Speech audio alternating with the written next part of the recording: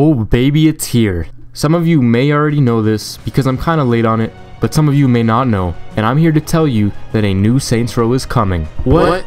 No, No way, way, RPG. RPG. How, do you know? According to many viable sources out there, THQ Nordic has bought the parent company of Deep Silver, which is Koch Media, for about $149 million.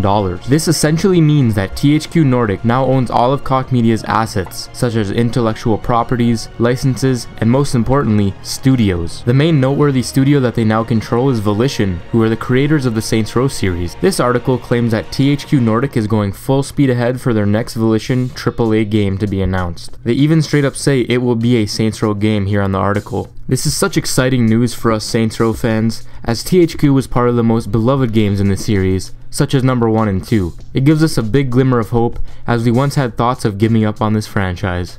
There is no better time than now to get our voices heard of suggestions we may have for the next game, as they are probably still in the development stages of the game. Many people have posted great suggestions on my website, saintsrowunderground.com, so I'd love to see more people head over and make some wish lists and general suggestions in the forums as it helps shape the future of the next Saints Row game. Whether it's Saints Row 5 or a complete reboot, only time will tell, but at least we now know it's coming. Quick little update, that's all for now ladies and gentlemen. Stay sexy, stay hungry, and stay humble. Peace out, bitch!